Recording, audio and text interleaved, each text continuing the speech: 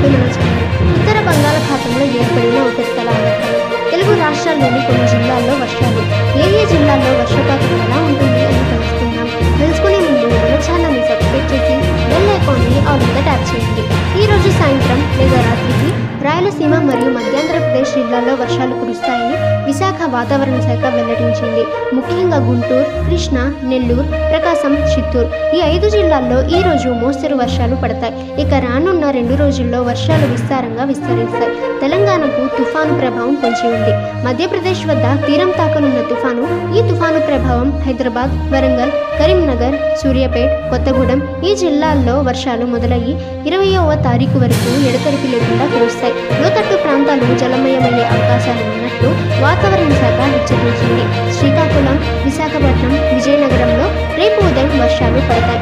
రాయలసీమ మరియు మధ్యాంధ్రప్రదేశ్లో ఈ రోజు సాయంత్రం మరియు తెల్లవారుజామున మోస్తరు వర్షాలు కొన్ని ప్రాంతాల్లో ఉంటాయి. పది రోజుల తరువాత తెలుగు రాష్ట్రాలకు అత్యధిక వర్షపాతం నమోదవుతుంది.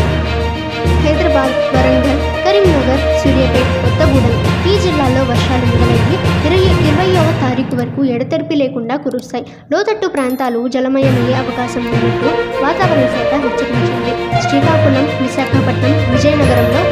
భారీ వర్షాలు పడతాయి. రాయలసీమ మరియు మధ్యాంధ్రప్రదేశ్లో ఈ రోజు సాయంత్రం లేదా తెల్లవారుజామున మోస్తరు వర్షాలు కొన్ని ప్రాంతాల్లో ఉంటాయి. పది రోజుల తర్వాత తెలుగు రాష్ట్రాలకు అత్యధిక వర్షపాతం నమోదవుతుందని వాతావరణ శాఖ వెల్లడించింది. So friends this is today's weather forecast. మీరుంటున్న ప్రాంతంలో వెదర్ ఎలా ఉందో కామెంట్ చేయండి. అలాగే మన ఛానల్ని సబ్స్క్రైబ్ చేసి బెల్